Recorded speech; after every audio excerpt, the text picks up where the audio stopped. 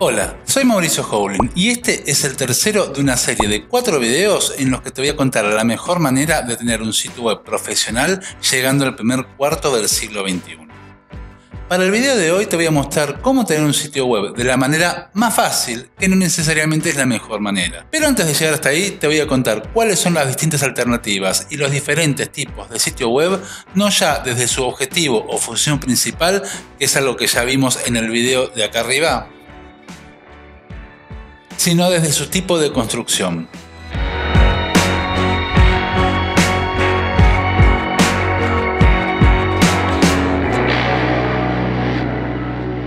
Primero que nada, vamos a tomarnos unos segundos para repetir el mantra de esta serie de videos.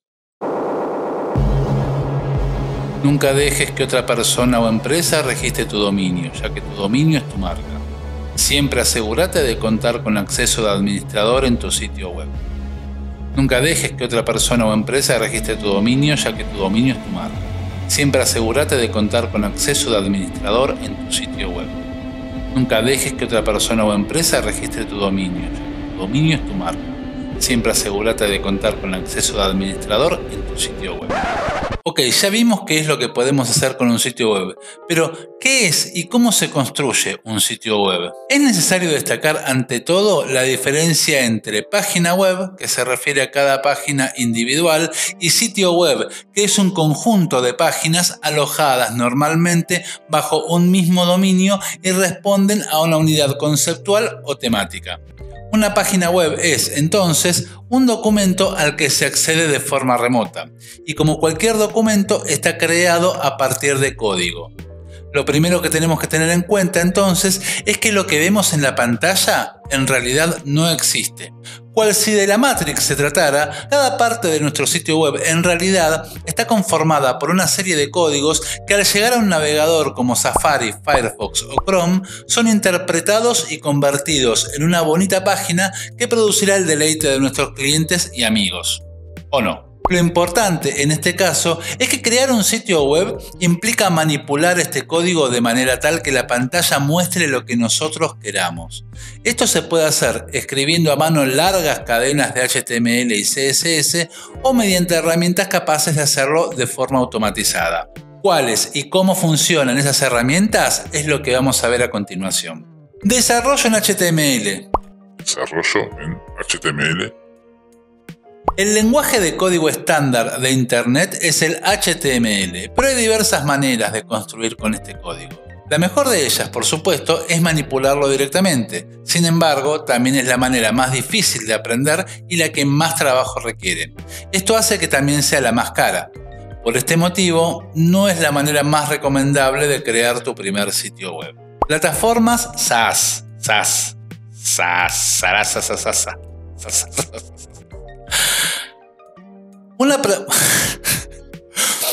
Una, posibilidad sencilla para crear tu sitio web sin tener que manejar código es a través de plataformas SaaS, Software as a Service. Básicamente, son plataformas integrales que te ofrecen todas las herramientas para armar tu sitio, incluyendo alojamiento y constructor de páginas. Normalmente son muy fáciles de utilizar y pueden ser una buena opción para un negocio primerizo. Como contra, suelen tener capacidades y elementos limitados. Las características avanzadas solo están disponibles en las versiones premium y hay funcionalidades que ni siquiera se pueden agregar ya que es un entorno propietario sobre el que nosotros no tenemos ningún tipo de control. Sistemas de gestión de contenido. Por último, una buena opción intermedia son los CMS o sistemas de gestión de contenidos sobre plataformas propias. Como su nombre lo indica, son sistemas integrales que permiten construir sitios enteros con pleno control de sus características visuales y funcionales sin necesidad de manipular directamente el código. Hay distintos CMS y en muchos casos orientados a distintas funciones específicas, como Joomla, Magento o Drupal. Actualmente el más popular de todos es WordPress.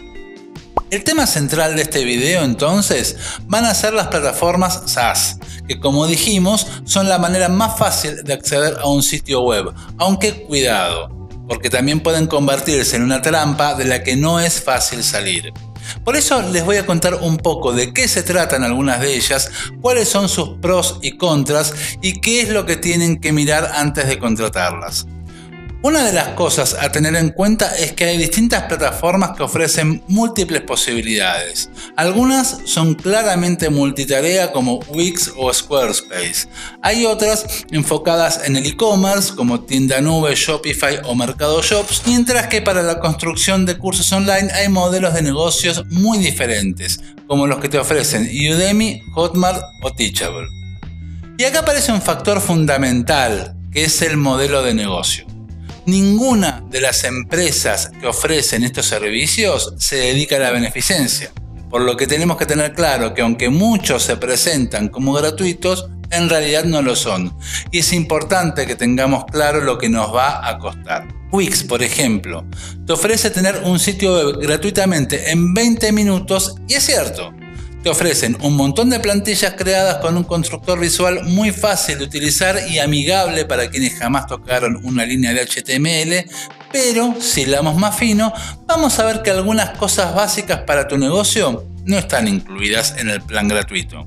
La que tal vez sea la más importante es que el plan gratuito no incluye la posibilidad de utilizar tu propio dominio. Para usar tu dominio tenés que contratar un plan pago y si aún no tenés un dominio, una de las posibilidades que te ofrece Wix es la de contratarlo por vos. Para, ¿contratarlo por vos? A ver, Gonzalito, la cinta. Nunca dejes que otra persona o empresa registre tu dominio, ya que tu dominio es tu marca. Siempre asegúrate de contar con acceso de administrador en tu sitio web. Nunca dejes que otra persona o empresa registre tu dominio, ya que tu dominio es tu marca. Siempre asegúrate de contar con acceso de administrador en tu sitio web. Consejo.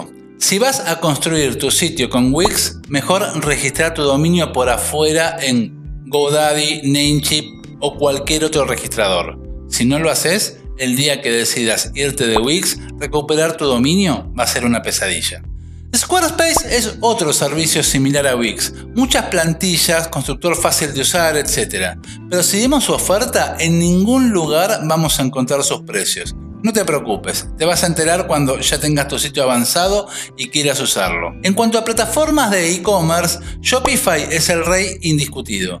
Tiene cientos de posibilidades con integración para casi todas las herramientas existentes, tanto de pago como de envío o incluso personalización. Por supuesto, un servicio semejante no es barato. Sus planes comienzan a partir de los 14 dólares por mes y cuanto más funciones requieras, mayor será el precio a pagar. Y por cierto, mayor dificultad tendrá, especialmente en lo que a diseño visual se trata. Tienda Nube es una muy buena alternativa, particularmente de este lado del mundo sin tener un producto tan poderoso como el de Shopify, resulta mucho más económico, cuenta con una buena cantidad de integraciones, tiene un diseño aceptablemente versátil y por sobre todo cuenta con una enorme base de conocimiento a disposición de clientes y curiosos. Mercado Shops se presenta como una solución de e-commerce independiente, pero en última instancia es solamente Mercado Libre fuera de Mercado Libre. Podés asignar tu dominio, colocar tu logo y los datos de tu marca, pero se sigue viendo como Mercado Libre, tiene las mismas comisiones que Mercado Libre y los productos que aparecen ahí son los que tenés publicados en Mercado Libre. Sí, es gratis, ponele, pero ¿es tuyo? En lo que son plataformas de e-learning, como te dije antes, hay tres modelos bien diferenciados. Udemy es un marketplace de cursos en el cual se ofrecen todo tipo de cursos al público general. Vos podés publicar el tuyo de manera gratuita con un mínimo control de calidad y Udemy se queda con un porcentaje de cada curso vendido. El alojamiento de video es gratuito también, hay un equipo de revisores para ayudarte y miles de potenciales alumnos, pero también miles de competidores, por lo que vas a estar obligado a competir por precio. Las ventas las realiza la plataforma, por lo que el pago recién lo vas a recibir a los 30 días. El porcentaje para el creador es muy bajo y no se puede retirar el curso de la plataforma una vez subido. Tampoco es posible tomar contacto directo con los alumnos ni sumarlos como leads. Hotmart es distinto. Su negocio se basa más en la afiliación y por este motivo ponen a tu disposición una abrumadora cantidad de herramientas para el marketing de ese tipo. Ellos se ocupan de cobrar a los clientes, por lo que también demoran 30 días en pagarte.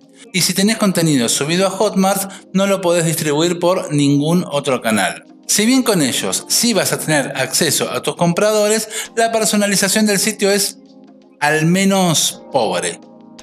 Teachable es más parecido a un sitio tuyo, aunque tampoco permite que uses tu propio dominio. Su modelo es el de suscripción mensual y brinda tutoriales acerca de cómo usar la plataforma. Los exámenes y certificados solo se entregan a partir del plan intermedio y el plan básico incluye obligatoriamente la marca Teachable. Es, con todo, tal vez la mejor opción de estas tres. Ahora bien, tal vez lo único que quieras sea tener un blog sin demasiadas complicaciones, personalización ni nada de eso. Para estos casos, Blogger, WordPress.com y Tumblr pueden resultar más que suficientes. Tumblr. Tumblr. Tumblr. Si en cambio todas estas opciones te resultan insuficientes y lo que querés es tener un sitio profesional en serio, entonces lo mejor es que empieces a pensar en un sistema de gestión de contenidos. Pero como este video ya quedó demasiado largo, eso lo vamos a dejar para el próximo. Por lo pronto aquí me despido y te recuerdo que para tener más contenido como este gratis en tu página principal de YouTube, lo único que tenés que hacer es clic en el botón que dice suscribirme, en el dedito para arriba que dice like, en la campanita, dejar un comentario en la caja de abajo, seguir a Ecodiem en todas las redes y compartir este video con tus amigas y amigos como dice la tía Marta. ¡Chao! ¡Sas! Sa, sa, sa, sa, sa, sa. Sa, sa, sa. ¿Qué? Sa, sa, sa.